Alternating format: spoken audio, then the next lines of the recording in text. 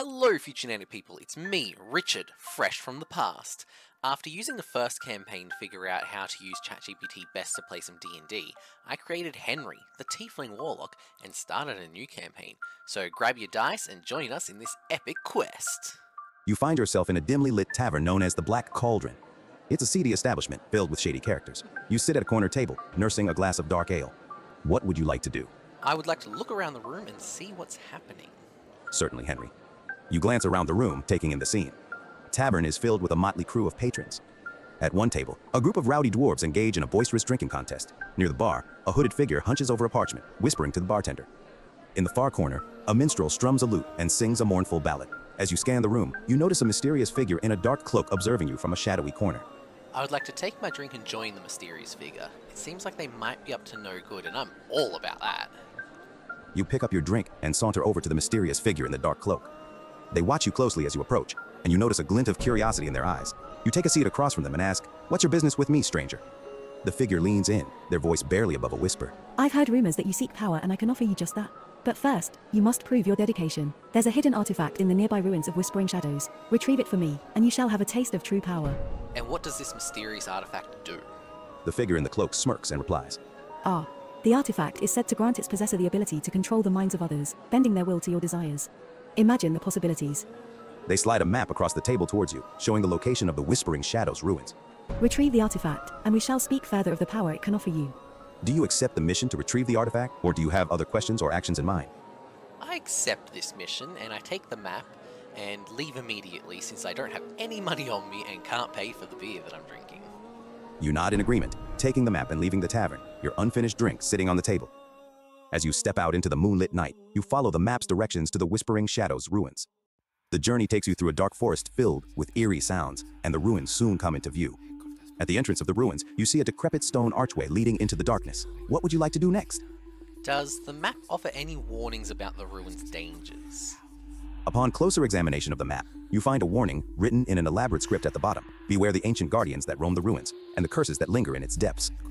Approach with caution and prepare for the unknown. With that warning in mind, what's your next move as you stand before the entrance to the Whispering Shadows ruins? Uh, I would like to make my way through the ruins quietly, trying to avoid any guardians. As you enter the ruins, you move stealthily, carefully avoiding any potential dangers. Please roll a stealth check to determine how quietly you can navigate through the ruins, and let me know the result. Uh, that's a 10 with my modifiers. With your stealth roll of 10, you move cautiously through the ruins, trying to minimize noise and stay hidden from any potential threats. As you explore deeper, you come across a dimly lit chamber filled with ancient relics. Among the items, you notice a glimmering amulet that seems to match the description of the artifact you were sent to retrieve. However, guarding the amulet is a pair of stone golems that come to life as you approach. Roll for initiative to determine the order of actions in combat. I got a 14 on my initiative roll. You act swiftly, Henry, with an initiative of 14. This fight, like all D&D fights, took quite a long time to actually get through, despite it being rather uneventful. So I just got ChatGPT to give me a summary of this fight that should work and be more interesting. Henry, the Tiefling Warlock, encountered two menacing stone golems while exploring the Whispering Shadows ruins. Reacting swiftly, Henry was the first to engage, striking the first golem with an eldritch blast, dealing significant damage. However, the golems retaliated, and one managed to hit Henry, bringing his health dangerously low. Recognizing the dire situation, Henry adopted a hit-and-run strategy, using Eldritch Blast to target the golems while keeping himself safely out of their melee reach. This tactic worked effectively against the golems, as Henry's consistent Eldritch Blasts wore them down. The first golem fell after a series of blows, and despite a few missed shots, the second golem was eventually defeated as well. With both adversaries now reduced to rubble, Henry successfully retrieved the artifact from the ruins. I would like to investigate the artifact, uh, trying to find out basically how it works, what its limitations are, and if there's any dangers to actually using it. You carefully examine the artifact you've retrieved from the ruins.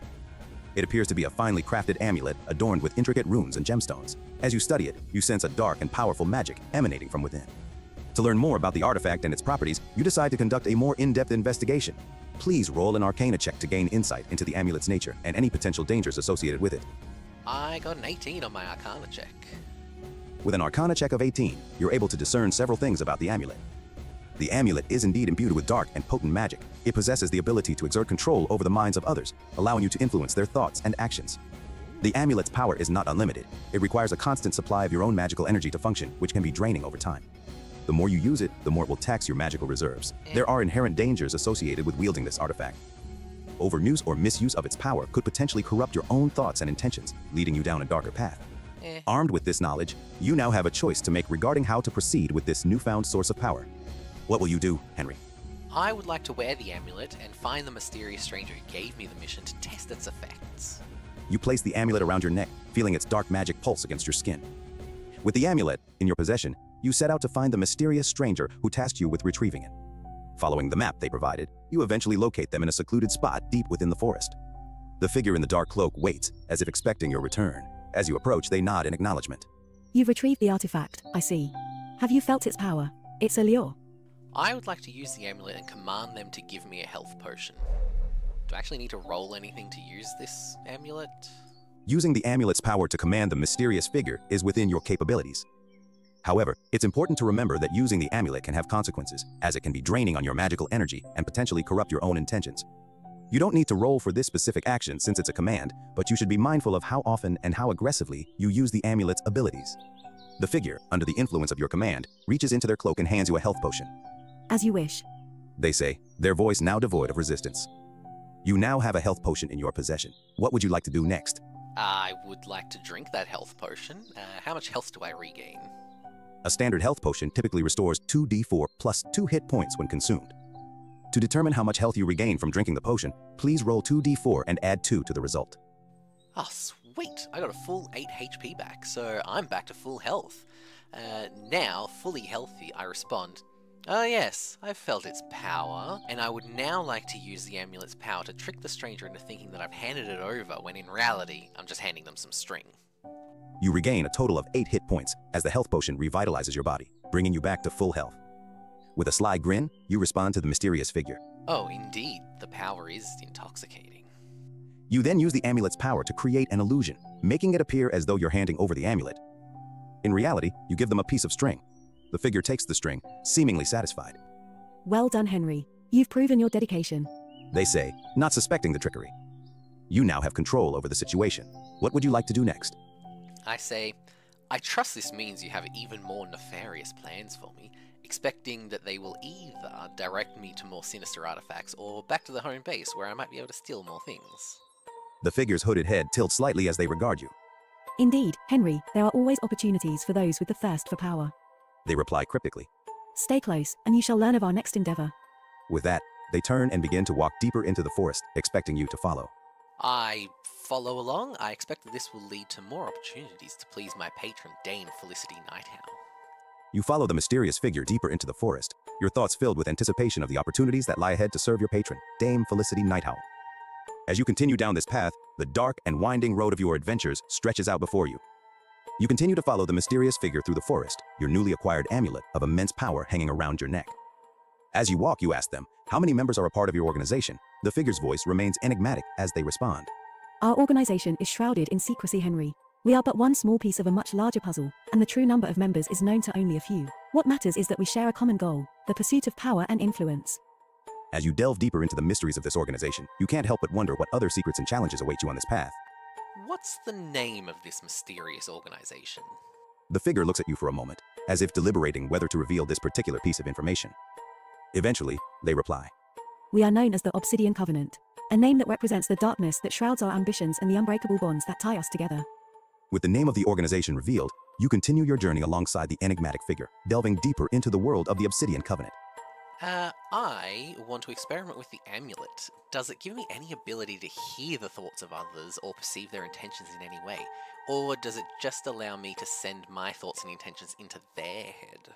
You decide to experiment with the amulet's powers as you walk alongside the figure from the Obsidian Covenant. You focus your thoughts, attempting to discern if the amulet grants you the ability to hear the thoughts of others or perceive their intentions. As you concentrate, you realize that the amulet primarily allows you to send your thoughts and intentions into the minds of others, influencing them to a certain extent. However, it doesn't grant you the ability to read their thoughts or perceive their intentions directly. It's a tool for manipulation and control rather than telepathy. Boo! That's lame. I say to the fact that the amulet doesn't let me read minds. Please tell me there isn't any kind of stupid initiation ritual or anything else that I have to do like that. I say quickly trying to pass over the fact that I was booing in response to my own thoughts and not the conversation. The figure from the Obsidian Covenant chuckles softly at your comment about the amulet's limitations. No, Henry, there are no silly initiation rituals. Your actions and dedication in the field speak louder than any ceremonial rite. We value results over formalities. Oh, thank the Abyss. I hate when you try and join an evil organization they're all about order and respect. I'm in this for the chaos and power. The figure nods in understanding. We share your appreciation for chaos and power. The Obsidian Covenant embraces those who are willing to tread the path of darkness and seize opportunities without being bound by needless formalities.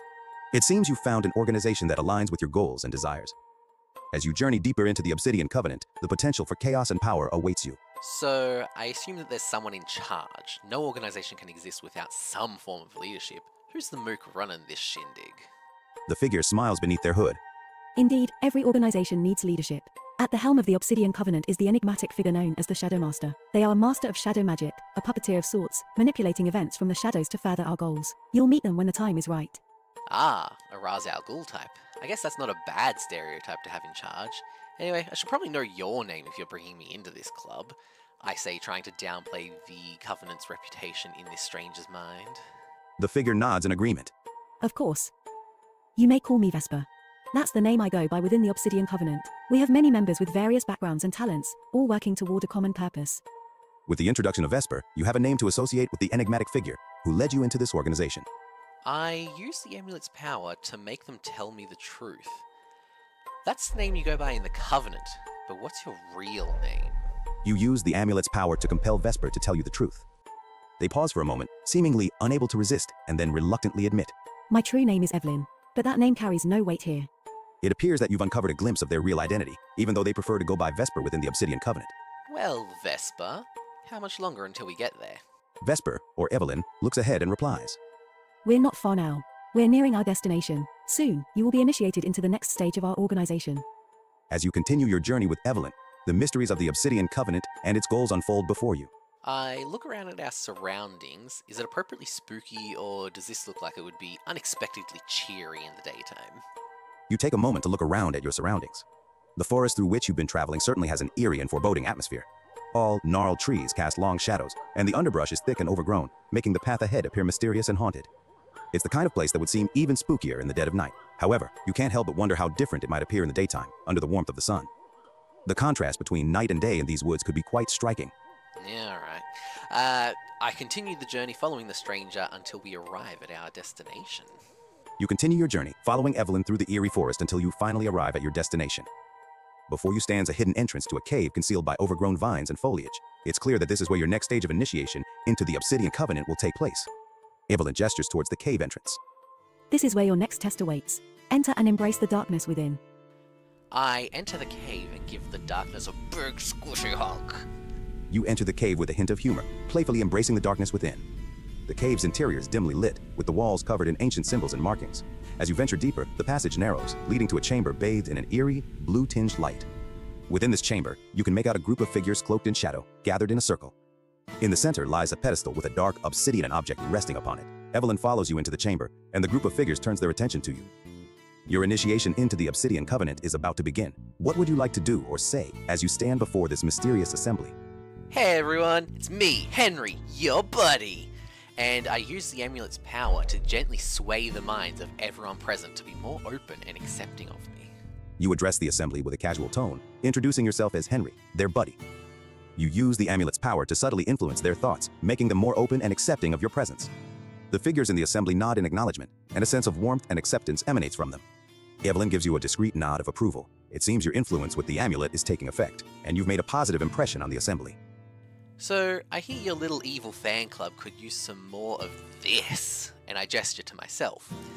Well, if you need evil and chaos being done, look no further. Your confidence and willingness to embrace the path of evil and chaos earn you a few nods of approval from the assembly. One figure steps forward, their voice echoing in the chamber. Welcome, Henry, to the Obsidian Covenant. We believe your unique talents will serve our cause well. With your initiation into the organization complete, you now stand as a member of the Obsidian Covenant, ready to undertake whatever dark tasks and challenges lie ahead. Oh, I didn't know we were using thaumaturgy. it's good to be here. Now, what despicable acts need doing? I'm eager to get out there and make the world a worse place. Your use of thaumaturgy amplifies your voice, filling the chamber with your words. The assembly members are clearly impressed by your dramatic flair. The figure who spoke before steps forward once more, addressing you. Your enthusiasm is noted. There are many tasks that require your unique talents. First, you shall embark on a mission to the town of Thornhaven. We have heard whispers of a group of do-gooders and heroes gathering there. We want you to infiltrate their ranks and sow discord from within. As the mission details are laid out before you, it's clear that your newfound role within the Obsidian Covenant will lead to more opportunities for evil and chaos. So, I'm not just going there to burn the town to the ground and kill the heroes. You want them alive, but in disarray? The figure nods in response to your question. Indeed. While destruction is sometimes necessary, in this case, we see value in manipulating and disrupting their ranks from within. Allow them to crumble under the weight of their own conflicts, and they will serve our cause more effectively. God, that guy has a good voice. Uh, I respond, Of course, my patron loves deception and trickery. This should be fun. But I think I will need some supplies. I need some potions and money. My travels have exhausted both. Evelyn steps forward and hands you a small pouch of coin. Here is some gold to cover your expenses. You'll also find a selection of potions in your quarters within our hideout. They should aid you in your mission. With the pouch of coin and the promise of potions, you're well equipped for your mission to Thornhaven. Uh, I would like to check the pouch of coins to see how much is actually in there. You take a moment to check the pouch of coins that Evelyn handed you. It contains 500 gold pieces, a substantial sum that should cover your expenses quite comfortably. With your pouch of gold and the knowledge that potions await you, you're ready to embark on your mission to Thornhaven. What's your next move? I go to my quarters and collect the potions, and then I make my way to Thornhaven. On the way, I would like to check the potions to see what they are. As you make your way to Thornhaven, you take a moment to examine the potions you've been provided. In the pouch, you find two healing potions. These potions will restore a moderate amount of hit points when consumed. One potion of invisibility. This elixir grants you the power of invisibility for a limited time, allowing you to move unseen. With these potions in your possession, you continue your journey to Thornhaven. The path ahead is filled with intrigue and opportunities for chaos. Is Thornhaven a village, a town, or a city? Like, what kind of size are we talking about here? I rolled a natural 20 on my history check. With your natural 20 on the history check, you recall that Thornhaven is a small but prosperous town nestled in the heart of a dense forest. It's known for its skilled artisans and traders who specialize in crafting exquisite jewelry and enchanted items, often using rare and magical materials found in the surrounding woods. While Thornhaven is not a large city, it's renowned for the quality of its goods and its peaceful atmosphere, which makes it an attractive target for manipulation and chaos. As you approach Thornhaven, you can see the outline of the town through the trees. What would you like to do next? I would like to first scope out the town, looking for any signs of the actual adventurers that I'm here to target, uh, and I got a 13 on my perception check. You carefully approach Thornhaven, your keen eyes scanning the town for any signs of the adventurers you've been tasked with infiltrating.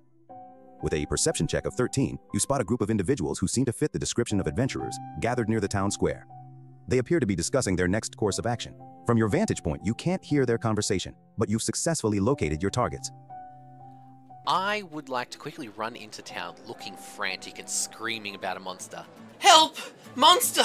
It's coming for the town! We need heroes!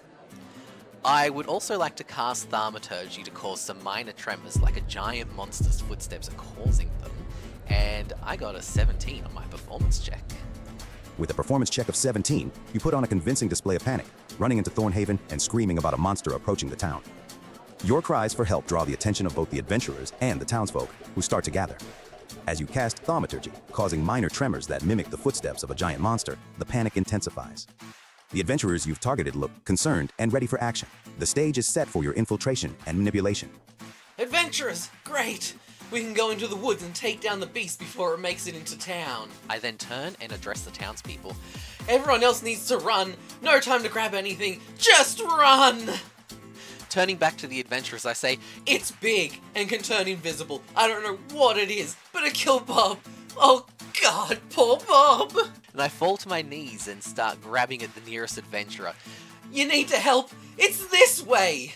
And I start dragging them into the forest. Your urgent plea for assistance convinces the adventurers to take action. They ready their weapons and follow you into the forest, concerned about the threat you've described. The townspeople, heeding your warning, begin to scatter and flee the town, leaving their possessions behind in their haste to escape. As you lead the adventurers deeper into the woods, your manipulation and deception are in full swing. The group seems fully committed to the mission to confront this invisible and deadly threat. What's your plan as you guide them into the forest, Henry? that is a good question. Uh, how many adventurers are there, and what are their races and classes? There are four adventurers in the group you've gathered.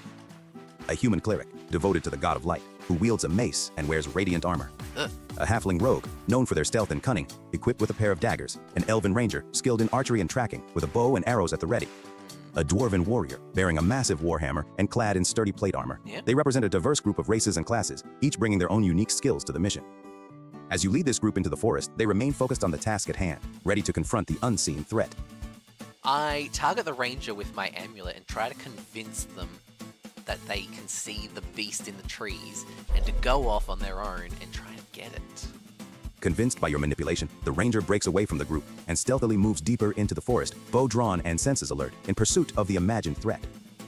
The remaining adventurers are unaware of your influence and continue to follow your lead, searching for the unseen beast.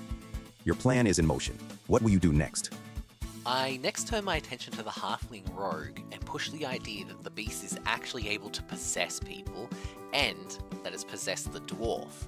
And from here, I want to wait for the first sign that the rogue is under my influence before initiating my next plan. Uh, basically, if the rogue starts to attack the dwarf, I'd like to plead with the cleric to step in and help him by saying, Oh my god, that's what happened to Tiffany before she killed Bob and ran off the cliff.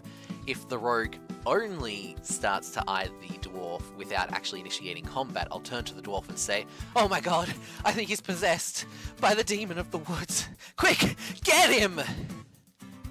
You focus your attention on the halfling rogue, using the amulet's power to plant the idea that the invisible beast has the ability to possess people, and that it has possessed the dwarf.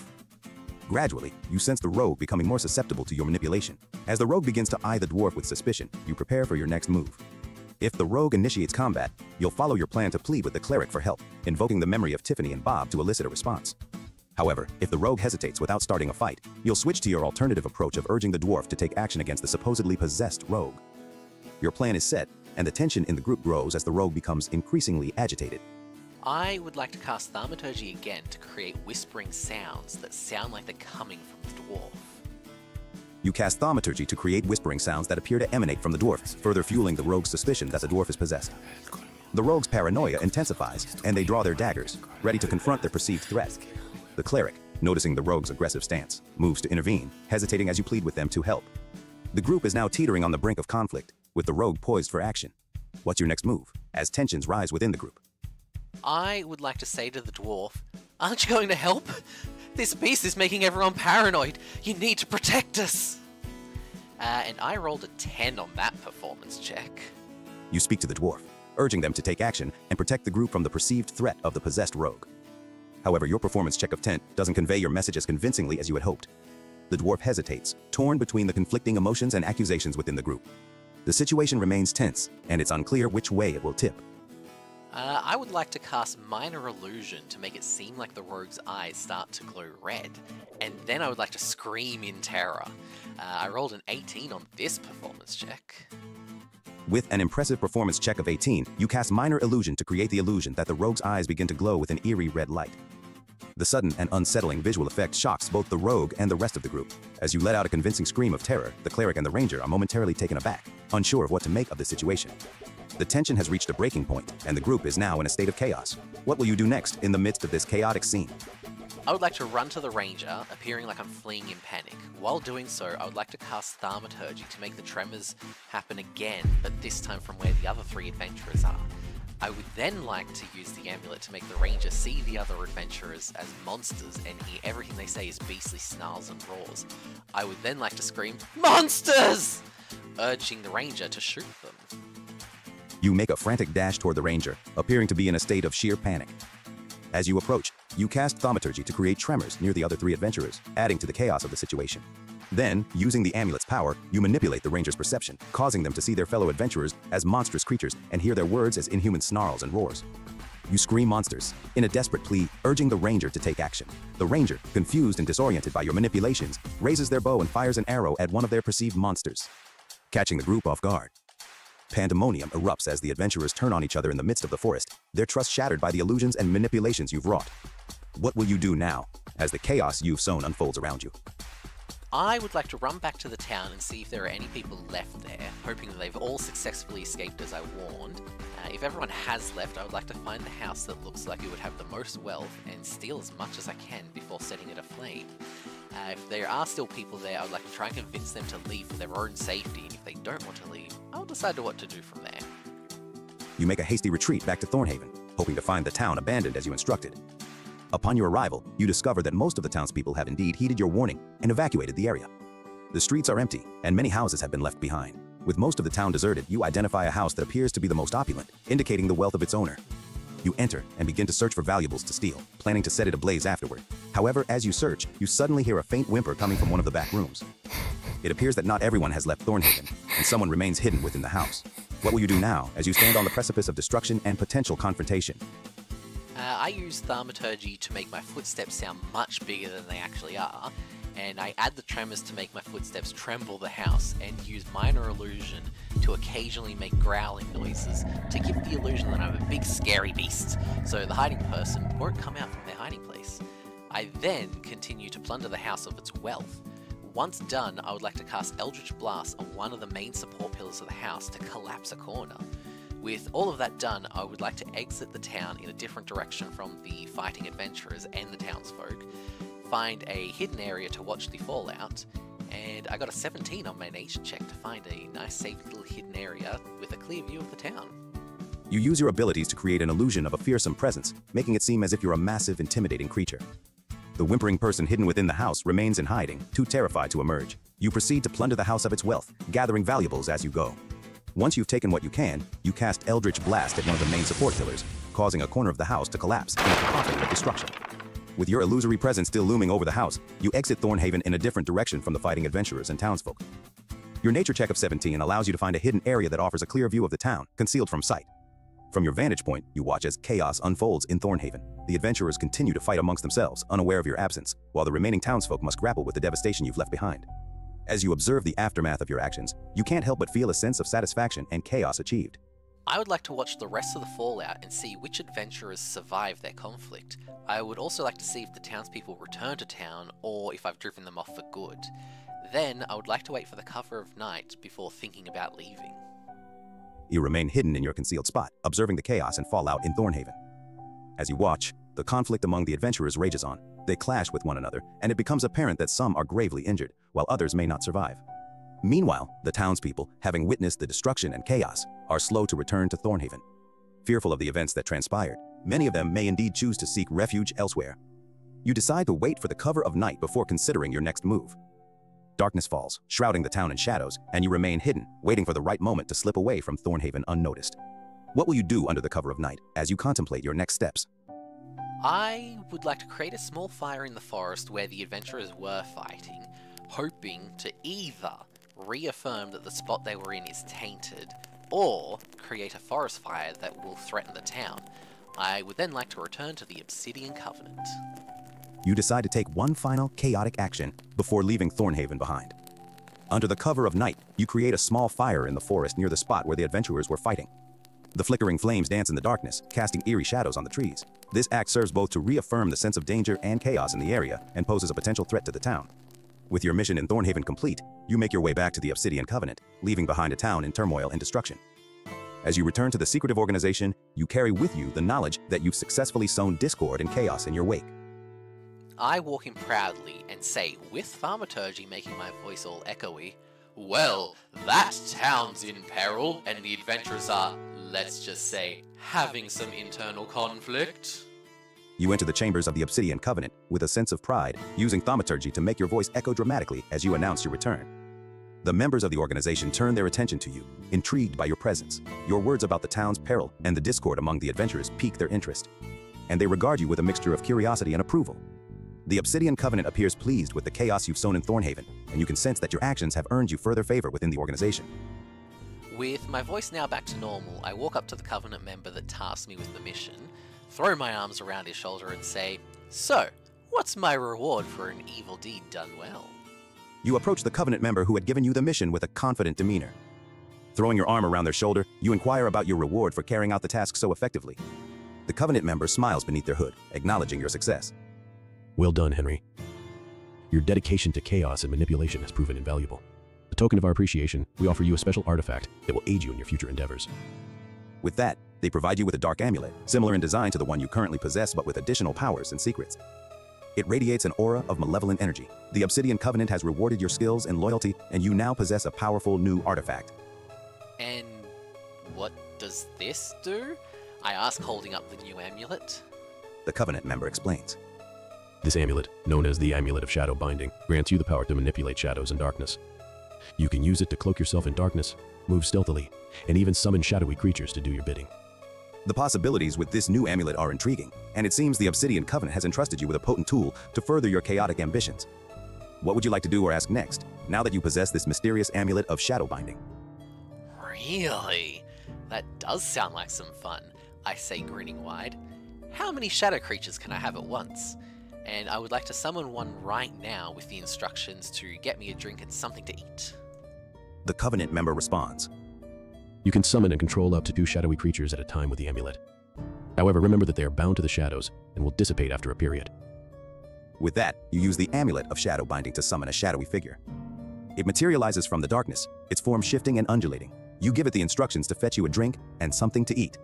The shadowy servant nods and disappears into the darkness, quickly returning with a drink and a plate of food. Your new amulet has already proven its utility, and it seems there's much more you can do with it. Well, that's cool. I say, taking the meal from the creature. Oh, who's an evil little shadow monster? I say to the summon, giving them a quick scratch behind the ear. I'll call you Simon. You give the shadowy creature a playful nickname, calling it Simon and giving it a friendly scratch behind the ear. It responds with an eerie yet appreciative sensation, resembling a sort of shadowy purring. The members of the Obsidian Covenant watch with interest as you interact with your new shadowy companion. Clearly impressed with your command over the amulet. With Simon at your side and the amulet of shadow binding in your possession, you're now even more prepared for your future endeavors in the service of chaos and evil. Well, good night, Rando Covenant members who still haven't introduced themselves. I'm gonna go to bed, and I give a quick wave as I walk to my room that Evelyn showed me before the mission. I summon Simon and the other summon that I can bring out and say, Keep watch for any dangers in this room. Wake me if anyone or anything enters the room. My next words are directed to the new summon. Do good, and I'll give you a name in the morning. And with that, I'd like to go have a long rest. You bid the enigmatic members of the Obsidian Covenant good night and make your way to your room, the one Evelyn showed you before your mission. Before you rest, you summon Simon and your other shadowy companion, instructing them to keep watch for any dangers and to wake you if anything or anyone enters. As you drift off to sleep, you look forward to the new day and the opportunities for chaos and power it may bring. Your loyal shadowy companions remain vigilant throughout the night, ensuring your safety. With a long rest, you awaken refreshed and ready for whatever dark adventures await you in the service of your patron, Dame Felicity Nighthowl. Hey everyone. Thank you so much for joining us today. This campaign was run by GPT 3.5, but I promise you, all future adventures for Henry will be even more intriguing as they were run by the even more advanced GPT 4. And hey, did you enjoy the visuals and the music? Believe it or not, they were generated by AIs, much like this outro. We truly live in amazing times. Now, just for a bit of fun, let me show you some of my favorite images that didn't quite make the cut.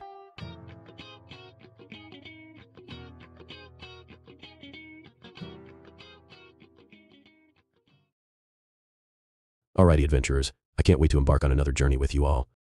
Until then, I'll see you next time.